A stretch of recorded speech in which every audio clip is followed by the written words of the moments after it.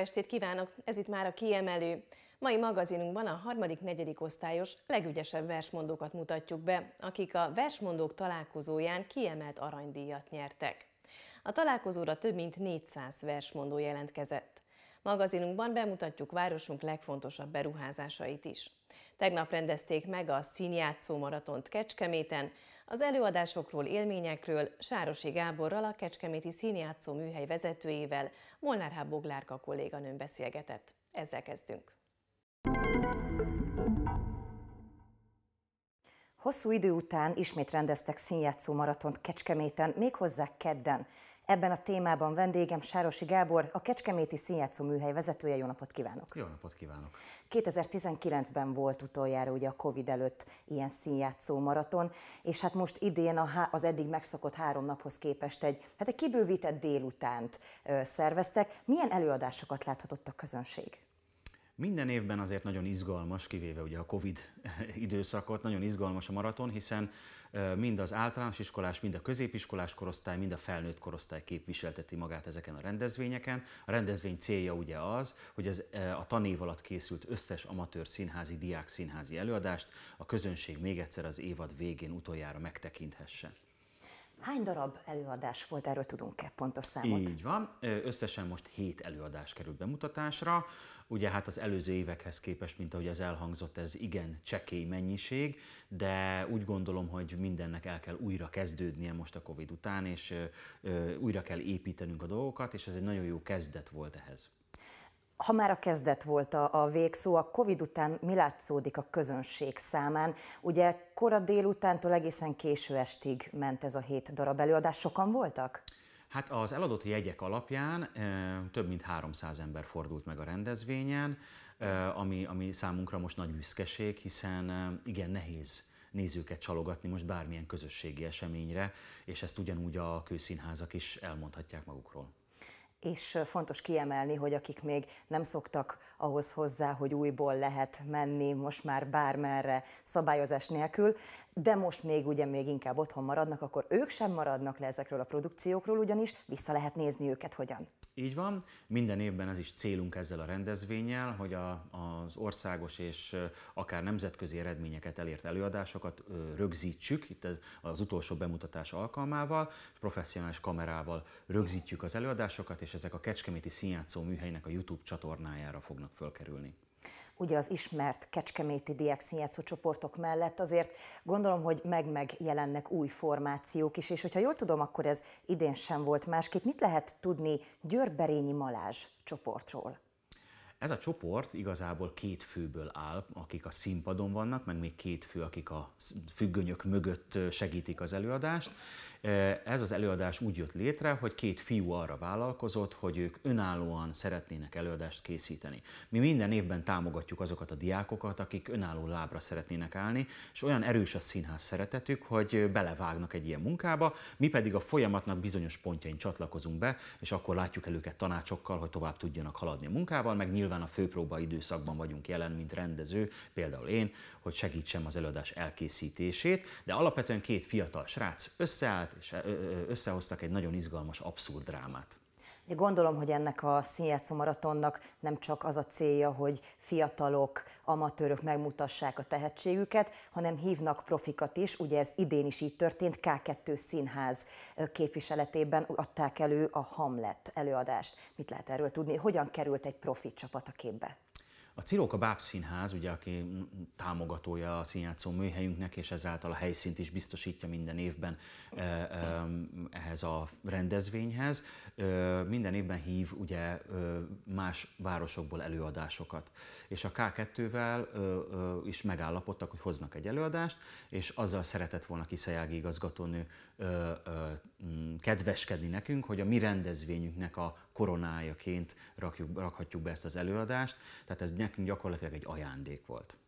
Ugye a, szín, a színjátszó maraton betekintést nyújt a Kecskeméti diák színjátszó csoportoknak a jelenébe. Hogyan látod te most az ő jelenüket, esetleg jövőjüket? Működnek, hogyan működnek? Alapvetően nagyon nehéz helyzet van szerintem a diákok szempontjából is, és az idő szempontjából is, hiszen azt hiszem, hogy egy kicsit le van terhelve mindenki most az oktatásban, és ez elől a diákok sem tudtak elmenekülni.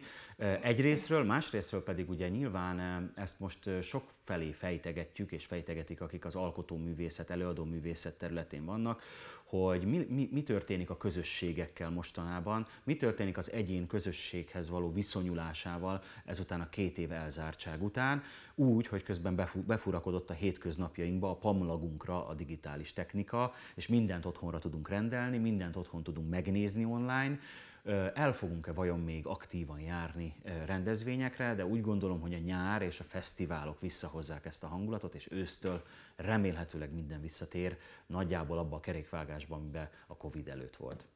Ha a Covid-ot említetted, hogyan lehetett túlélnie a színjátszó csoportoknak ezt a, ezt a nagyon kemény két évet? Hát én megmondom neked őszintén, hogy nem jól, mert nem tudtuk túlélni valahol, hiszen nagyon sokan úgy ballaktak el, úgy hagyták el a mi közösségünket, hogy nem volt lehetőségük fel, felállni a színpadra. Minden évben komoly rendezvényeinken ballaktatunk, búcsúztatunk, előadásokban való szereplésekkel búcsúztatunk, és ezek a diákok két évfolyam is úgy mentek el, hogy még kezet sem fog, tudtunk fogni feltétlenül, úgyhogy ez egy nagyon szomorú helyzet volt. És a másik szomorú helyzet, hogy mindig ugye a nagyobbaktól öröklődik át a fiatalabbakra az a kulturális értékrend, és az a szociális társadalmi értékrend is, ami ebben a közösségben működik. Most viszont a nagyok, mint a szellemek eltűntek, és ezért is mondtam a kezdetet, hogy újra kell kezdenünk, mert a közösségnek a működését, dinamikáját ismét be kell állítanunk. Hogyan alakultak át ezek fényében ezek a, ezek a színjátszó csoportok? Voltak esetleg megszűnések,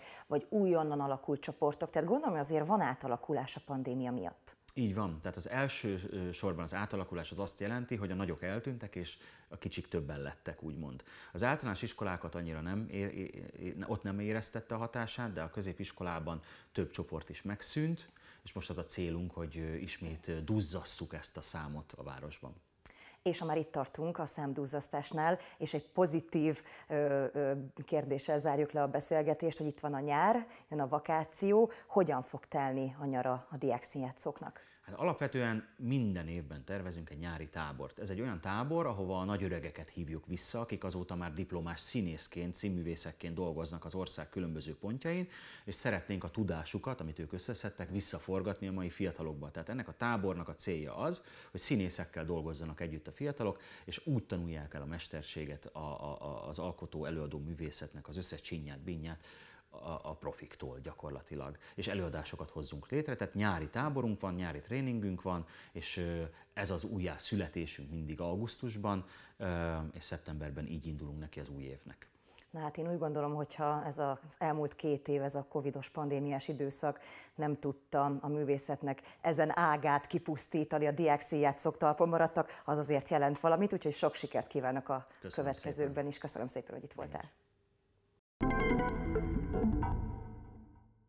Ma a harmadik, negyedik osztályos legügyesebb versmondókat mutatjuk meg, akik a versmondók találkozóján kiemelt aranydíjat nyertek. 431 szavaló jelentkezett idén 5 korcsoportban a versmondók találkozójára. 18 válogató forduló során került kiválasztásra az a 98 versmondó, aki bekerült a versünnepre. Most Doró Csanád és Hajdu Tamás díjazottak következnek. Doró Csanád, a Kodály iskola negyedik osztályos tanulója, nagyon szeret énekelni és verset mondani. Legfőképpen másoknak szeretne örömet okozni.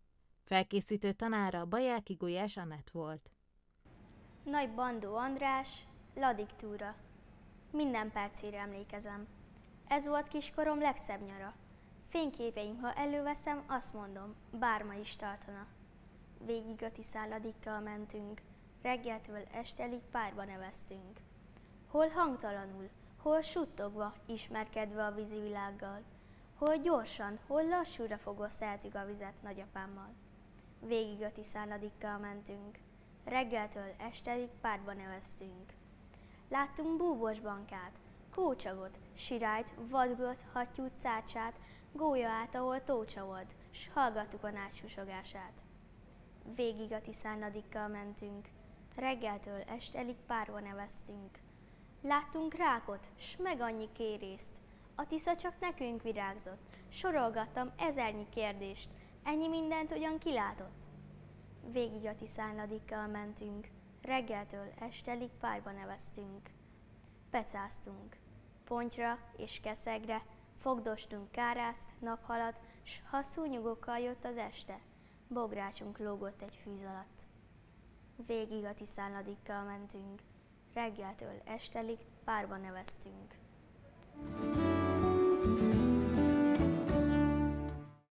Hajdu Tamás, a Kodai iskola harmadik osztályos tanulója a nyelvtanért és a sportokért van oda. Anyukája segítette kiválasztani a verset, amelyel végül szintén kiemelt aranydíjas sikerül szereznie. Felkészítő tanára Csitári Andrea. Erdős virág, egyke. A megyfánál állnánk egy régi fotón. Két felől fognánk a papa kezét. Megörökölni a hótaposómat, felpróbálhatnám a barca mezét. Rugdosnánk egymást az asztal alatt, aztán letagadnánk a tényeket. Mesélnénk neki a longobárdokról, elmagyarázna a géneket. Útban a hajnali mandula műtétre, a taxiban vicceket mondana, dühében egyszer belökne a tóba, aztán ruhástól utána mugrana. Megesne párszor, hogy felcserélnének. Én nem bannám persze, na na, egy távoli rokon a tengeren túlról a nevemen szólítaná. Lenne egy nagy, közös felfedezésünk, a titok, hogy hogy kéne élni, hogy ne kelljen többé a Rottweilertől és a megfertőződéstől félni. Szeretne ezt-azt szétcsavarozni, és ismerne egy pár trükköt. Visszacsinálná tegnap előttről a matchbox bedobott tükröt. Kreatív lenne és gyerekbarát, és hirdetésmentes. Mi más? Hasznomra válna az életben, inkább, mint bármely más alkalmazás.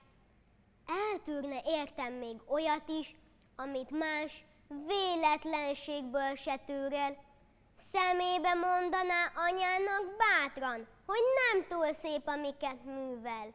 Mert mi az, hogy nyűgös, és mi az, hogy fáradt, és tőlem egy perc nyugta sincs. Ő leülne mellém, mert kíváncsi lenne, és bízhatnék benne, mert komolyan venne, és minden új játékban benne lenne, ha lenne, de nincs.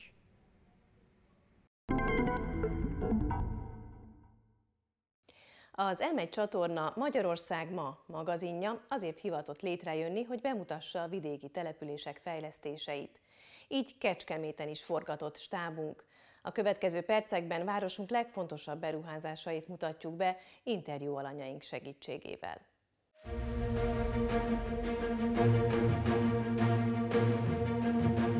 Kecskemét az elmúlt években óriási léptékkel fejlődik. Munkahelyteremtő beruházások, modern oktatási és sportlétesítmények, korszerű infrastruktúra jellemzi a híres várost a kormányzati támogatásoknak köszönhetően nagyon sok munkalehetőség is van, az is tetszik, hogy az infrastruktúra az teljesen a város szélére ö, került ki, így nem zavarja a várost. Van mozgás lehetőség, strand, uszoda, vadaspark, Katona József Színház, az Agóra is itt van, nagyon jó város.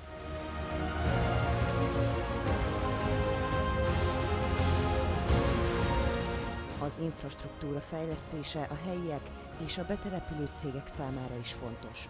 Az állam csak nem 9 milliárd forintot biztosított az 54-es főút M5-ös autópálya és 5-ös főút közötti szakaszának négysávosítására. Nem sokára pedig az 52-es főutat is modernizálják 8 milliárdos támogatással. Túl zsúfolt ez az út, még akkor is, amikor nincs csúcsforgalom, pláne akkor, ha, ha abba az időben jövünk, amikor csúcsforgalom van. Ez már a déli iparterület, amelynek korszerűsítése a vállalkozások érdekeit szolgálja. Itt a Barényi Béla utat több mint két milliárd forintból állították helyre. Az autóipari óriás, az SMP épületének építésekor szükség volt arra, hogy ezt megfelelő úttal lássuk el. A Barényi Béla út első szakasza ezt a gyárat szolgálja ki. A második szakasz, amelyen most állunk, a jövőt szolgálja ki. Azon dolgozunk, és eredménnyel, hogy ez a 120 hektár néhány év múlva már ne üresen álljon itt. Kecskeméten a korszerűsítések tekintetében az oktatás kiemelt terület. Itt van a Najman János Egyetem új épülete, a kampusz, amely tőzsde tojásával és egyedülálló forgótermével igazi kuriózum. A diákok sportolási lehetősége is fontos a városban. A Katona József Gimnázium például multifunkcionális sportcsarnokkal gazdagodik, egy milliárdos beruházásnak köszönhetően. Ez már a Bányai Júlia Gimnázium, amelynek diákjai ebben a modern, tágas épületben edzhetnek. A 440 milliós beruházás állami segítséggel valósult meg. 1960-as években épült ez az épület, kinőttük egyszerűen a az öttes, heti öttes nevelés óra miatt már ott nem fértünk el. Most sokkal jobb körülmények között tudnak dolgozni testnevelő kollégáink. A város régi laktanya épületei 30 éve elhagyatottan állnak, azonban a kormány által biztosított 14 milliárd forint révén ez a terület is diákoktól lesz hangos. A mögöttünk lévő három épület a Kadalek szakközépiskolai szakgimnáziumnak lesz az épülete, ide fog költözni miután kiköltözött a belvárosból. Német és angol nyelvű, közgazdasági jellegű képzés van. Ennek fejlesztése összhangban van a város fejlődésével is, hiszen egy gazdasági ipari központtá vált itt az Alföld közepén Kecskemét.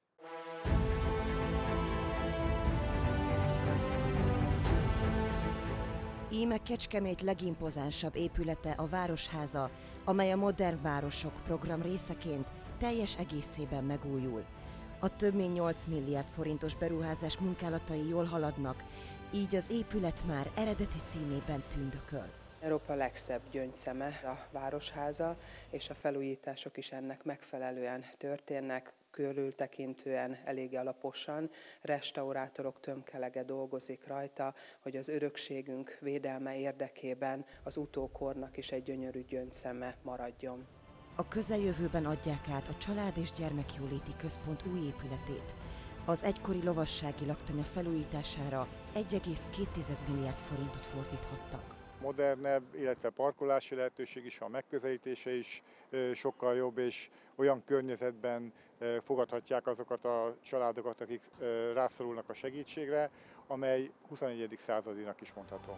Az infrastruktúrális fejlesztések a jövőben is központi szerepet kapnak, így a város még több céget vonz majd ide, ami az itt élők érdekeit is szolgálja.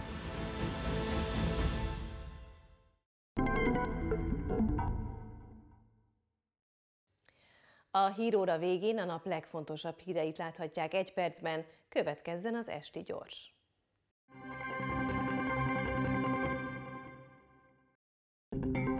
Elballagtak a Mercedes-Benz gyár Nemzeti Kosárlabda Akadémia U18-as fiataljai. Az ünnepélyes évadzárónak 2021-22-es bajnoki év szerepléséhez is gratuláltak a csapatoknak, kiemelve, hogy minden korosztály a döntőbe küzdötte magát idén.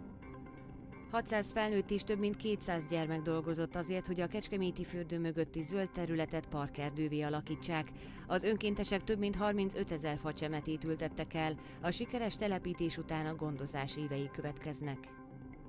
Több mint 10%-kal drágultak az albérletára 2022 első fél évében országosan, így Kecskeméten is. Ám ennek ellenére nem csökkent a kereslet a kiadó lakások és házak iránt, a helyi ingatlanpiaci szereplők szerint.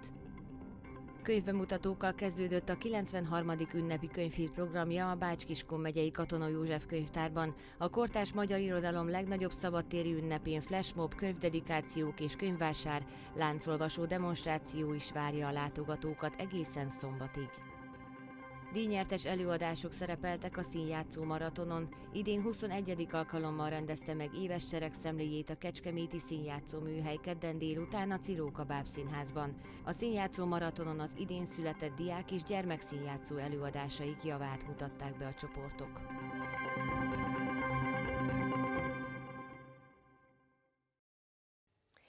Kedves nézőink, hírórával legközelebb holnap este várjuk Önöket 7 órától. A híradóban a legfontosabb hírekkel, azt követően pedig a kiemelőben számos háttérinformációval, érdekességgel szolgálunk minden hétköznap.